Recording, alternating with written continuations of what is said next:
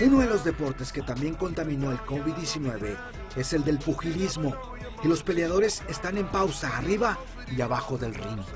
Las funciones de box representan el sustento familiar para muchos peleadores profesionales.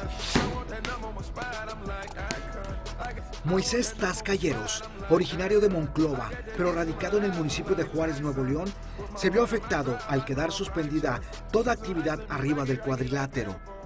Se ha afectado pues, a todos, a lo mejor este, económicamente. Confío en Dios que, que que se termine todo esto. Sin embargo, Taz, padre de familia, siempre mantuvo un as bajo el guante para cuando llegara una situación de emergencia.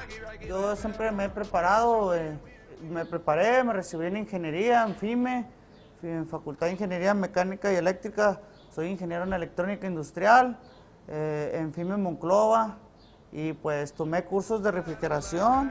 El pugil ahora se dedica a instalar y dar mantenimiento a aparatos de aire acondicionado, tanto en empresas como en domicilios.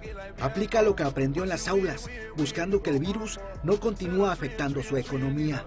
El boxeador de 31 años tiene 43 combates y ha disputado dos títulos del mundo.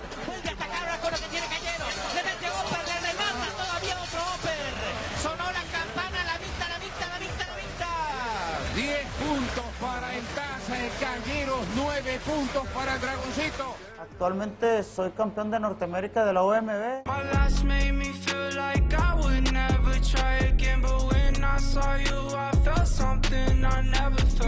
Aunque los gimnasios permanecen cerrados, el monclovense se mantiene activo en casa entrenando duro.